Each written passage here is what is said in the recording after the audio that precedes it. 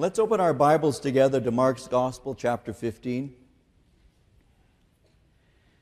We're going to be looking at just a portion of the events that took, took place on the day that Jesus was crucified and died for us. Obviously, we can't give a thorough study on that. We'll just give a segment, a, a snapshot this, uh, this afternoon. And we'll look at that from verses uh, 26, uh, rather 27 through 32 here in uh, the Gospel of, of Mark.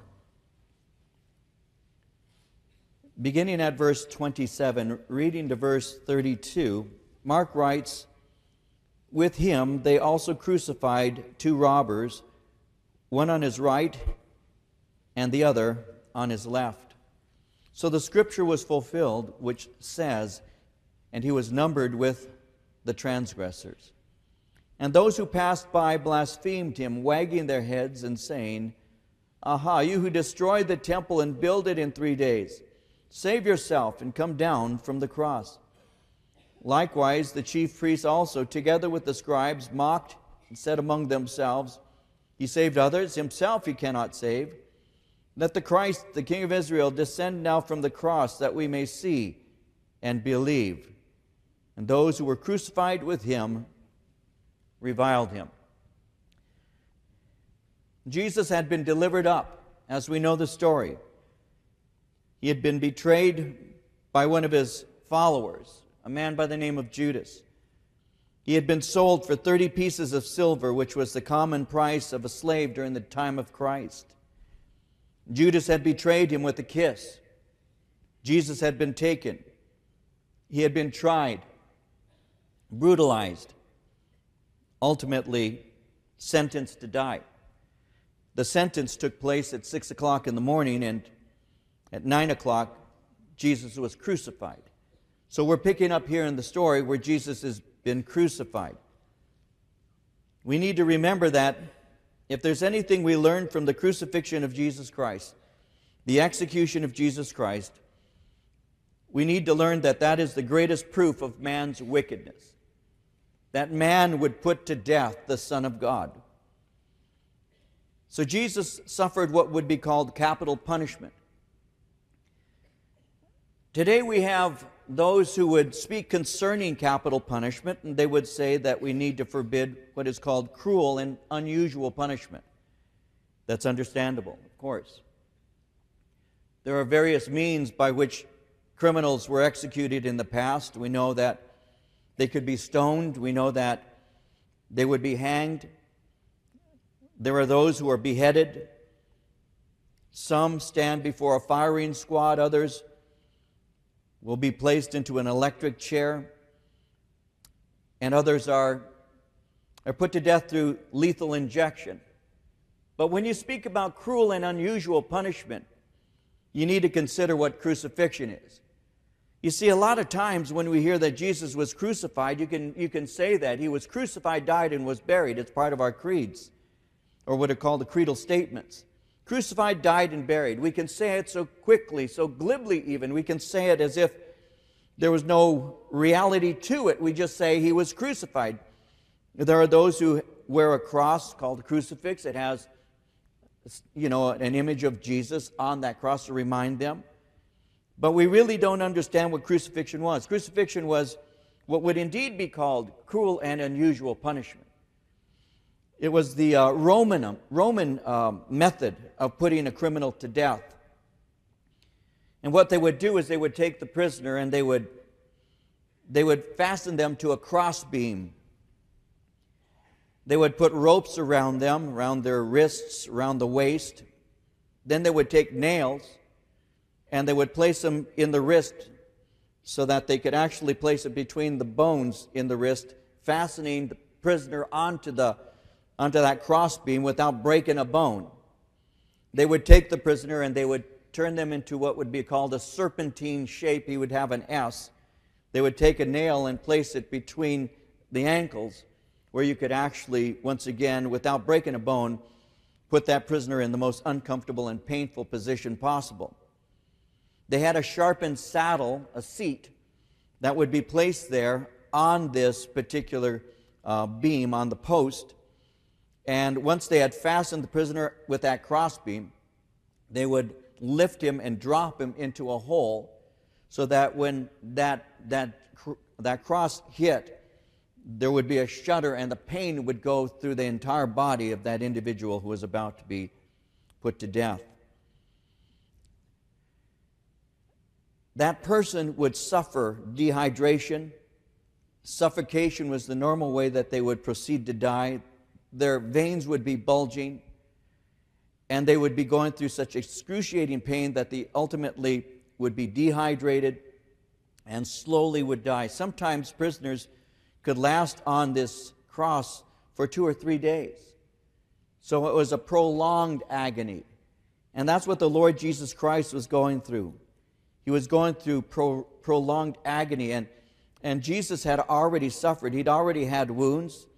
His back had been ripped open because they had scourged him, and uh, his head had been wounded. He had a, a, a, a crown of thorns that had been placed on him and his leg muscles are now beginning to cramp. He was dehydrating, he's going into shock, and ultimately that would be how he died. And so Jesus Christ went through what we would call cruel and unusual punishment as he died there on that cross for us. And the question obviously has to be asked, but why? Why would Jesus Christ be crucified? Because Jesus did not deserve being crucified. Now, there are others who did deserve dying in that fashion, or not so much that fashion, but did deserve capital punishment. There's one on the right hand, there's one on the left. These are people who are arrested for being criminals and being involved in criminal activity, and they suffered justly, but Jesus didn't. Jesus hadn't done anything wrong. He didn't deserve it. These other two did. And so the question is asked well, why would Jesus Christ have to be placed on the cross in the first place? And the answer is it's God's way to provide salvation for man. The Bible tells us very clearly that the God that we worship is a God of love a God of grace and compassion, a God of mercy, but He's also a God of justice and truth. And the Lord Jesus Christ died on the cross because God was satisfying the righteous demands that He had given to man. That if man is going to have a relationship with Him, man has to have a perfect relationship. God had given to man a law. It's called the Law of Moses. And within the Law of Moses, it delineates the way an individual can have a relationship with God. It's always been something that was based on faith, but obedience to that law was going to demonstrate that they truly did have faith. And yet the Bible makes it very clear that nobody was able to keep that law perfectly. All have sinned and fall short of the glory of God, is what Paul would say. And so Jesus Christ came in order to satisfy his Father's justice and to demonstrate his Father's love. The justice is satisfied in that he dies on our behalf. He is an atoning sacrifice he died for me. The Bible speaks of that as being propitiation. He satisfied the wrath of his father because his father had been suffering indignation through the individuals who are so prone on, so bent on, on sin and rejection. So Jesus satisfies the righteous demands of his father, but he also demonstrates the love of his father. And so he's placed on a cross to demonstrate both justice and truth, justice and love, justice and mercy.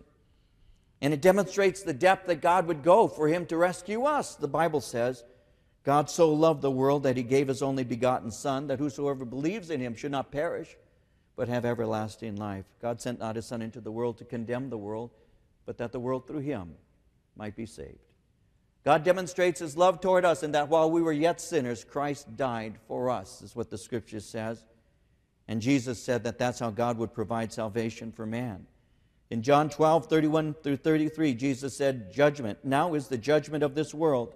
Now shall the prince of this world be cast out. And I, if I be lifted up from the earth, will draw all men unto me. This he said, signifying what death he should die.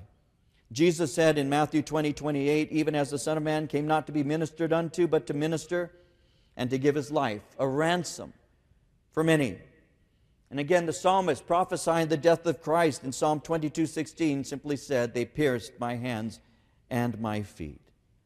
Now, Mark, as we look at this, informs us that Jesus did not die alone. He died between two robbers. When it speaks concerning the fact that he died between two robbers, that word robber there speaks of, of violent men who are capable of murder. These two were more than likely part of a group of men who were following an insurrectionist, a man by the name of Barabbas. Barabbas was guilty of sedition and murder. They had been arrested along with him. And so Jesus didn't die alone, he dies between two thieves.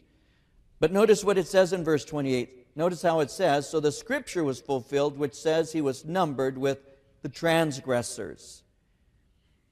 The scripture was fulfilled. They had broken God's law besides man's law. They're under the death penalty, but it's fulfilling scripture. In Isaiah 53, verse 12, a, portion of scripture prophetically speaking of this event that was written 750 years before it happened, Isaiah simply says he was numbered with the transgressors. When it says he was numbered, that word number speaks of being judged, supposed, accounted, or considered. In other words, the word numbered deals with that which is reality. It speaks of facts and not suppositions. In other words, they're considering Jesus absolutely to be a transgressor amongst other transgressors. They looked at him, in other words, as deserving of death. They believed that he was a guilty man. Now, that didn't bother the Lord Jesus Christ because he had made it a habit of being around sinners. That's one of the things that people had such problems with, and that in the fact that Jesus would actually spend time with people who were, who were not perfect, who were not good at all. As a matter of fact, it was one of the charges that was leveled against him that he actually spent time with sinners. In, in Matthew 9, verses 10 through 13, Matthew writes, Now it happened as Jesus sat at the table in the house, that behold, many tax collectors and sinners came and sat down with him and his disciples. And when the Pharisees saw it, they said to his disciples, Why does your teacher eat with tax collectors and sinners? When Jesus heard that, he said to them, Those who are well have no need of a physician, but those who are sick. But go and learn what this means. I desire mercy and not sacrifice, for I did not come to call the righteous, but sinners to repentance. I didn't come to, to call those who think that they're, they're already okay. He said, Only those who are ill will go to a doctor and only a sinner will come to a Savior. So, one of the steps to salvation is to recognize that we are sinners. There are a lot of people who won't do that, but the Bible says all have sinned and fall short of the glory of God. The Bible says there's none righteous, no, not one. There's none who doesn't do evil. All of us by nature do that. We admit to it on occasion. But the fact is, God sees us in that way, and we need salvation. That's why Jesus said He didn't come to call those who, who don't think that they need help. He said, I came to those who do, who recognize it, who understand it, who seek it and ask for it. So to be hanging around with, with tax collectors and sinners, to hang around with those people who are the offscouring of society, though those who are self righteous would say that they couldn't understand that, Jesus said, That's precisely who I came for. I came for the ones who recognize that they need help.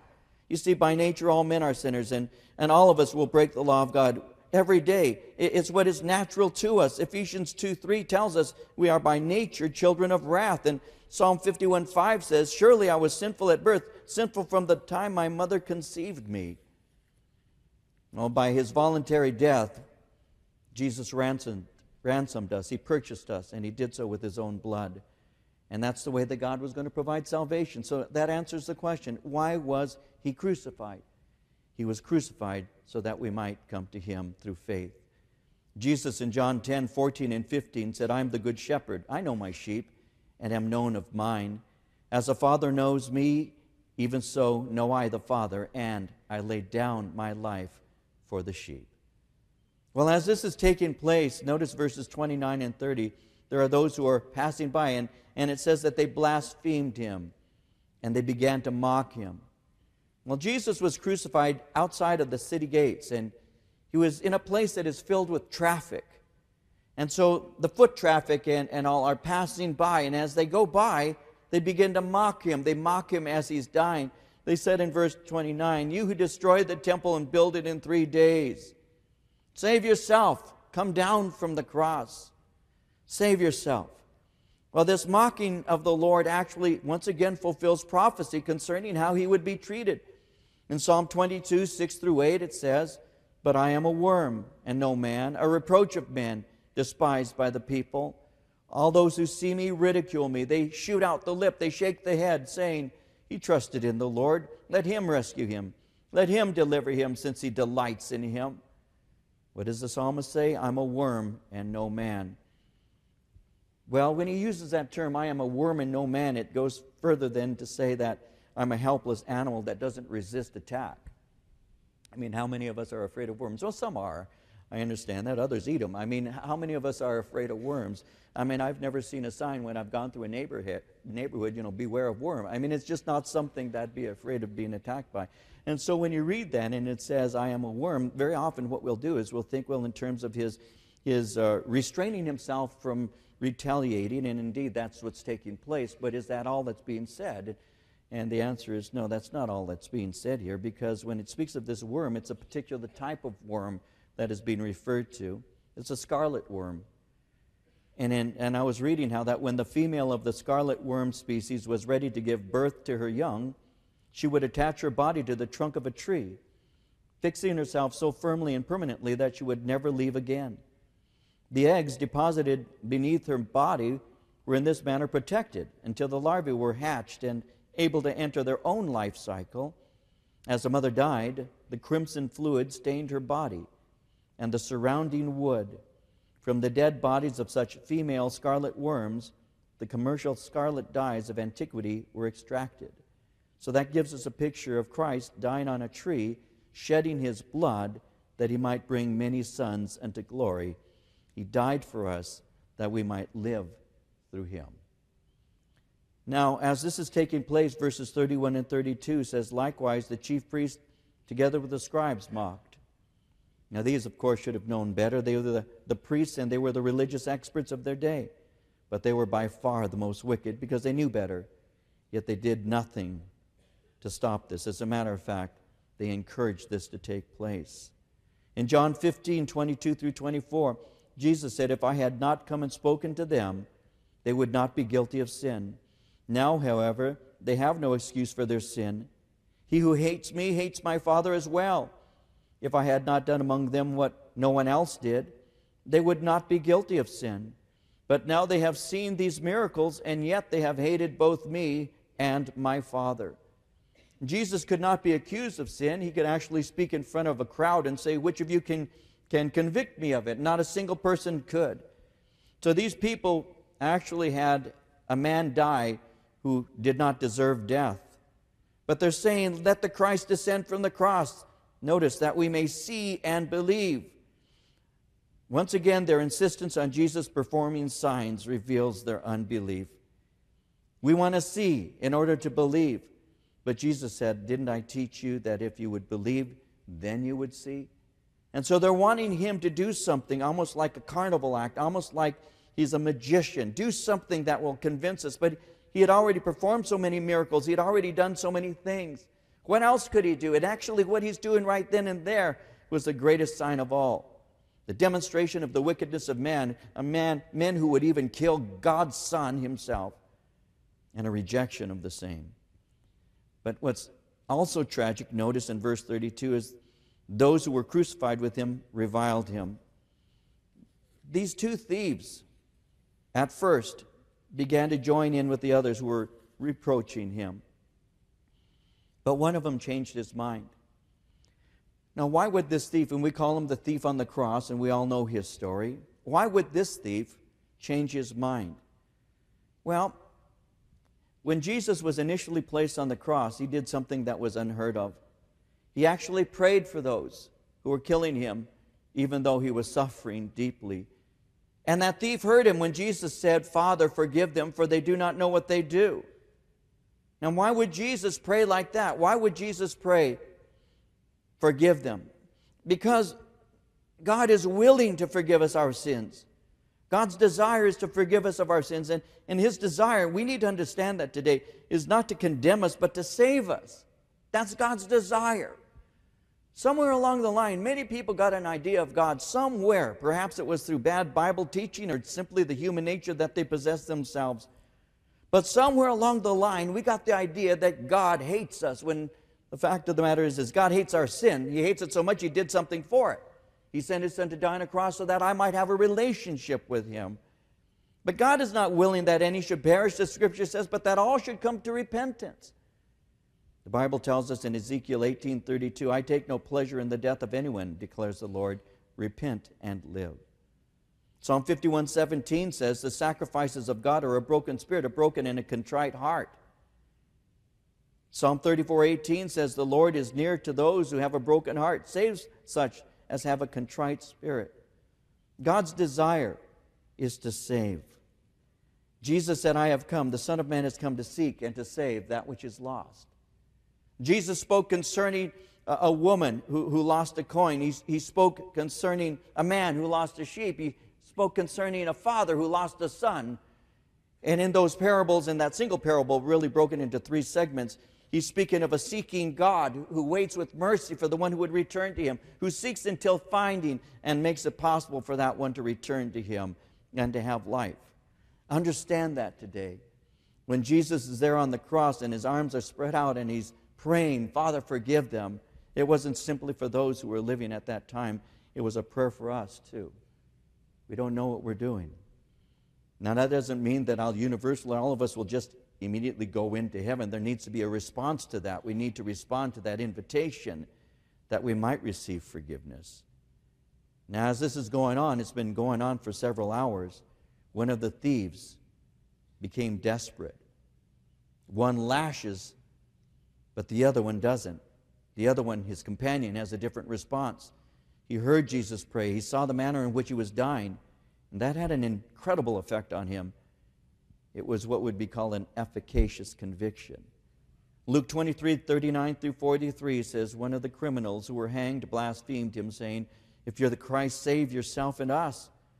But the other answering rebuked him, saying, Do you not even fear God? Seeing you are under the same condemnation, and we, indeed justly, for we received the due reward of our deeds. But this man has done nothing wrong. Then he said to Jesus, Lord, remember me when you come into your kingdom. And Jesus said to him, No, too late. No, he didn't. He said, I say to you, today you will be with me in paradise.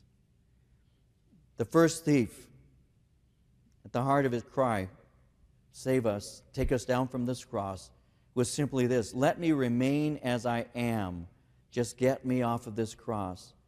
There's no fear of God, there's no sorrow, there's no repentance for his life. There's no sense that he deserved his punishment. That's a picture of a sin hardened man with no desire to repent and no desire for forgiveness. Save yourself and us. That's a primary preoccupation of people, looking out for number one. Jesus said, Whoever will save his life shall lose it. Who, whoever will lose his life for my sake will find it. For what is a man profited if he shall gain the whole world and lose his own soul? What shall a man give in exchange for his soul? What is it worth to you? For some people, the exchange of my soul. What would I give my soul up for? Drugs, some alcohol, sleeping around, whatever. I sell my soul cheaply, whatever pleasure I might have right now. We sell our souls cheaply for things that don't last. But the other was watching, and he became aware of his own sin. And he knew that, that Jesus Christ was the one who could save him. And so he recognizes his own sin. That's what he's saying. Do you not fear God? Because the fear of God is the beginning of knowledge. Then he's recognizing the innocence of Jesus. He says, We are dying justly, which is another way of confessing his sin. Then he recognizes Jesus as a king because he says, Remember me when you enter into your kingdom. In other words, he's confessing him as Lord. And then he says to him, Forgive me, when he said, Remember me. Remember me. And Jesus' response was, Today you will be with me in paradise. That's what was taking place on that Good Friday. Even though Jesus was hanging on a cross, he was still doing his ministry. He was still reaching out. He was still praying, still caring, and still saving, even though he was dying on that cross. So, Good Friday, what makes it so good? Why do we call it good? It's good because God has done something on our behalf that we couldn't do for ourselves.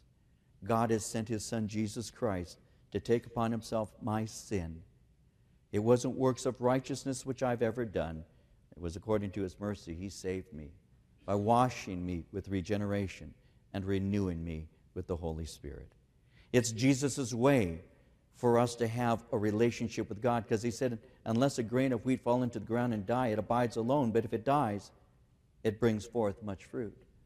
So when Jesus went to die on that cross for us, he paid the penalty that I could not pay to give me something I could never receive on my own strength. He paid that penalty and gave me what I don't deserve. What makes Good Friday Good Friday? It's good because God has done something for us. God has so loved us that He gave His Son.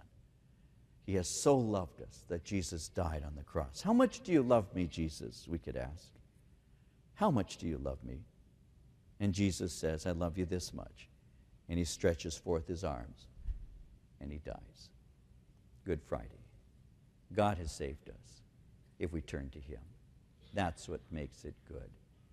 And if there are any in this room that need to get right with God, this is your opportunity. Jesus died for us. And if you have yet to take that which He offers you, this is your opportunity.